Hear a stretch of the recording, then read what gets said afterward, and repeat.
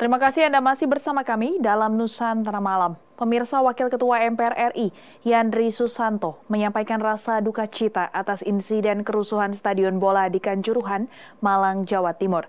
Yandri Susanto meminta agar pemerintah segera mengambil tindakan tegas untuk mengusut tuntas atas insiden tersebut, sehingga ke depan kejadian kerusuhan Stadion Bola Kanjuruhan tidak terulang kembali di masa yang akan datang.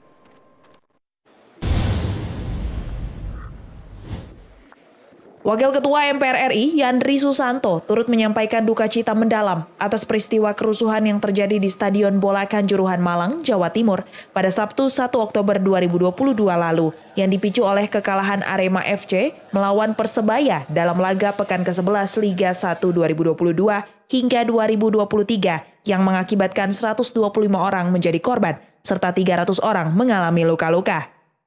Usai ditemui saat menghadiri acara penanaman nilai luhur kebangsaan bersama Aliansi Honorer Nasional atau AHN, Wakil Ketua MPR RI Yandri Susanto meminta agar pemerintah segera mengambil tindakan tegas untuk mengusut tuntas atas insiden tersebut.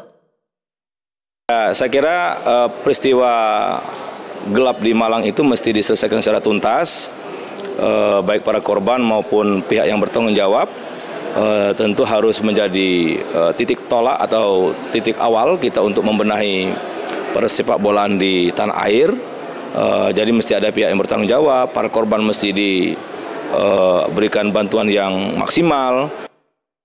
Yandri Susanto juga berharap ke depannya kejadian kerusuhan Stadion Bola Kanjuruhan tidak terulang kembali di masa yang akan datang. Sementara itu peristiwa ini menjadi sejarah kelam sepak bola Indonesia dan juga dunia. Ratusan jiwa meninggal adalah sebuah kejadian yang luar biasa dan meninggalkan luka bagi banyak keluarga. Dari Jakarta, Dio Malau, Nusantara TV, melaporkan.